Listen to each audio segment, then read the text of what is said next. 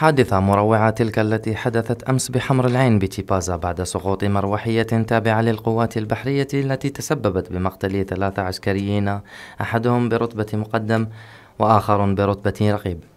ضربت هكذايا وجات هكذا. كي جات مولية ضربت ضرب الخيطان هادوك.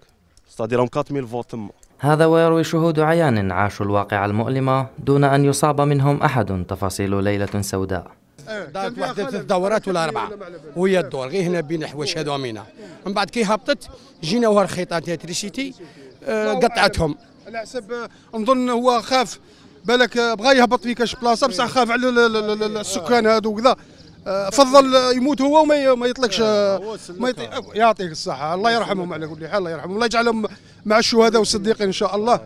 أصبحت حوادث سقوط الطائرات في الجزائر متكررة باستمرار قضى فيها كثير من الجزائريين نحبهم والأكثر إلى ما تلك التي تأتي على مشارف مناسبات غالية كشهر رمضان الكريم.